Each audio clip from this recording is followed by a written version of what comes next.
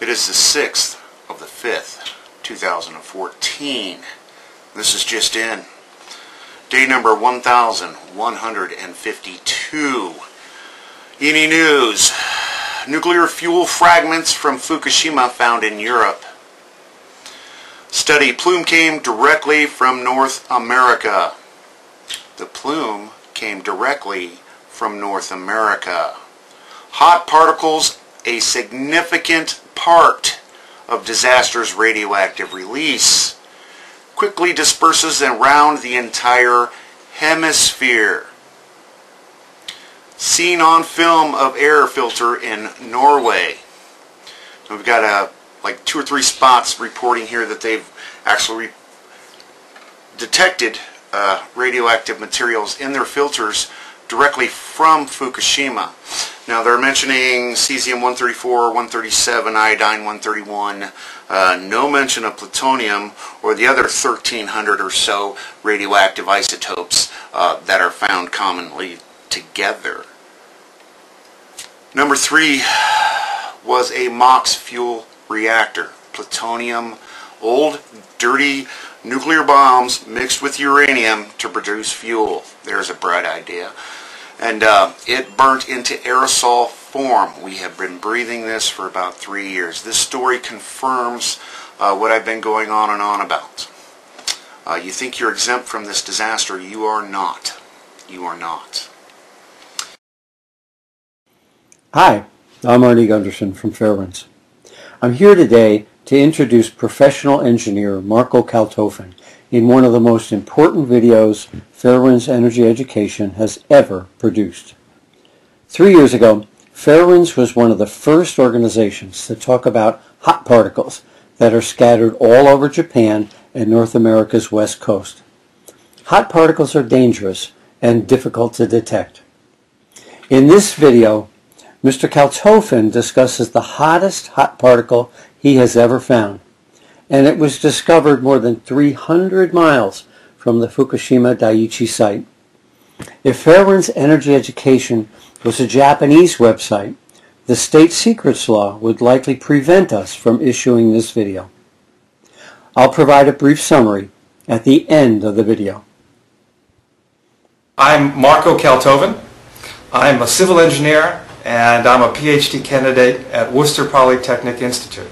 Most of my research looks at radioactive and chemical contaminants and how they wind up in house dust. And the reason for doing that is this is a very important way that the general public is exposed to things like radioactive contaminants. In looking at indoor environments, they tend to be much more contaminated than the surroundings outside. Houses act like a trap and they tend to collect outdoor contaminants and they expose people as much as 24 hours a day versus consider how short a time most people spend outdoors. Your exposure is actually much less. One of the nice things about social media is that we can talk to a lot of people and hook up with volunteers and volunteer scientific organizations and they were able to send us indoor dust samples, whether it was a vacuum cleaner bag or a sample from a home air filter or something like an appliance filter, think of an air conditioner filter, or a heating and ventilation filter that people might have installed in their home. And we actually have uh, developed a, a, very straightforward method for prepping all of these samples, and that way we can compare people's exposure you know, from one house to another. And we looked at samples in northern Japan, we looked at samples in Tokyo, we looked at samples in the United States and Canada. And we tried to get a feel for what people's actual exposure was. And that's why we went looking for hot particles.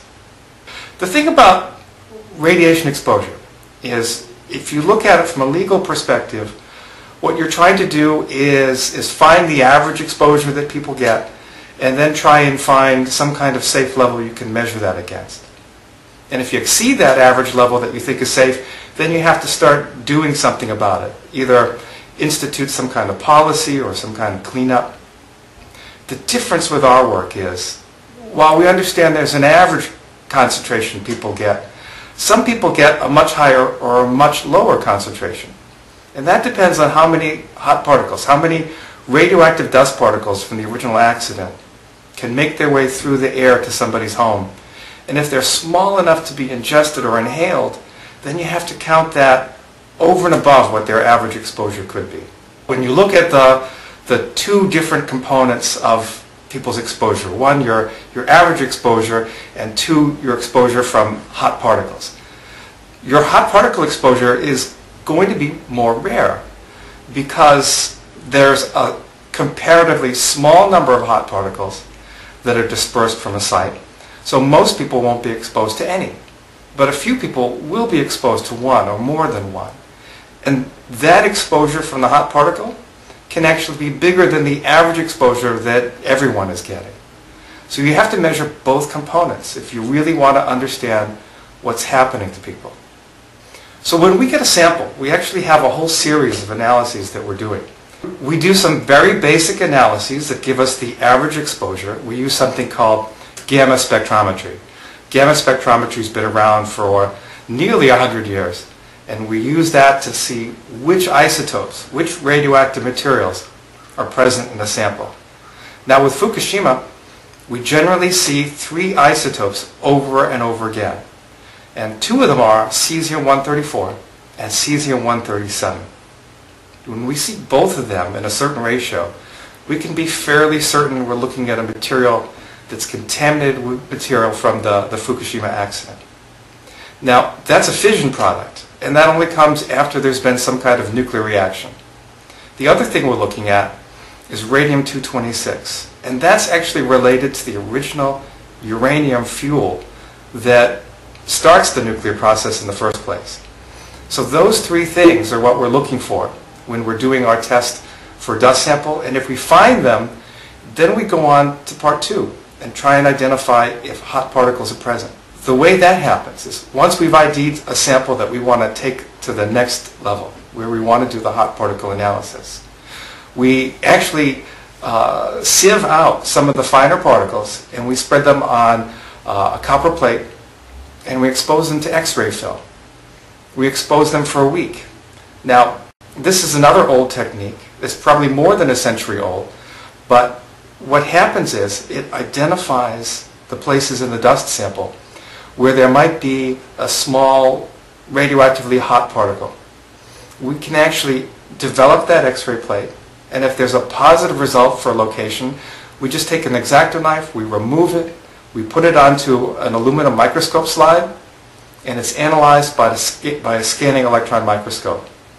Not just any old microscope, but one that can give us an actual elemental analysis as we're going along. So imagine you're looking through the microscope. It's all done on video these days. And you can actually see all the individual particles magnified maybe as much as 5,000, 10,000, 15,000 times. And as you're scanning, you've got a joystick and a, and a, set of crosshairs. You know, think of a video game. And you can zap each particle one at a time with an X-ray beam, and you can actually read out which elements are present. And when you're starting to see the radioactive elements, plutonium, americium, uranium, radium, then you know you're getting somewhere. So we can actually, through this process, take a sample that might weigh a pound or two pounds, a half a kilo, a full kilo, and isolate as few as one or two uh, hot particles from that entire sample, and then do a full analysis and a breakdown. And that's extremely valuable to us. It tells us a lot about what might happen if someone inhaled or ingested that particle. All hot particles are not alike. Some are modestly elevated. They're a little bit more radioactive than their surroundings. These are awfully hard to detect. But others tend to be orders of magnitude, factors of 10 more contaminated than their surroundings. You know, think the Richter scale where an earthquake magnitude 5 is 100 times more powerful than an earthquake magnitude 3. That's what we're looking for with hot particles. Not things that are just a little bit more radioactive, but much more. We get those, those highly radioactive particles, even though they're small, they can give us a lot of information about where they came from. Because we can actually see it in the microscope, we can see how big it is, we can see what shape it is. It really gives a history of what happened to the particle, and it gives a fingerprint of where that particle came from. And the last step if we know how big it is, and we know its elemental composition and how radioactive it is, we can actually tell exactly how dangerous that particle will be if you happen to inhale it or if you happen to ingest it. You can say, well, we don't know what might happen to a particular person, we just know what the average is. Well, that's, that's true of non-hot particle testing. But with this, we can take a hot particle and say, all right, the person in this household, if that person had inhaled this particular particle, their odds would be 7% or 70% of contracting uh, a lung cancer or uh, an epithelial tissue cancer or a nasopharyngeal cancer. You can actually see which one of these is more likely once you have the photograph of the particle. So it's a time-consuming analysis, but it tells us a lot about what the potential hazards are. And it's a good way to diagnose which areas are going to have which types of potential health damages. The sample that we got came from Nagoya in Japan. It's 460 kilometers from the accident site. That's about 300 miles away. The hot particle was 10 microns across. That means it is 10 one millionths of a meter across. Obviously something you're only going to see with a powerful microscope. The particle was actually in the, the size range of, of dusts that can be inhaled and then retained in the lungs. And this is important because if you're a health physicist and you're calculating the dose that you would get from this particle, you'd have to consider that this particle might actually be trapped and result in a lifetime exposure. Think of asbestos workers who inhale an asbestos particle and when they eventually die, from whatever reason, that asbestos particle is still in their lungs. Well, this kind of hot particle would probably do something very, very similar. The particle that we examined was a mixture of fission products from a nuclear reactor and nuclear fuels. We looked at materials like uh, tellurium, uh, radium-226, we saw cesium-134 and 137, cobalt-60, and, and a whole zoo of isotopes that probably you'll never hear about on CNN, but you'd have to be a physicist to understand. Let's put it this way. 80% by weight of this particle was made up of pure reactor core materials. So that tells me that something that came directly from the accident, directly from the core, could escape containment and travel a very, very significant distance. So it's a long distance to travel, and what happens is the particle is so very small that it will essentially travel with whatever gas it's entrained in. The, the winds will blow it long distances.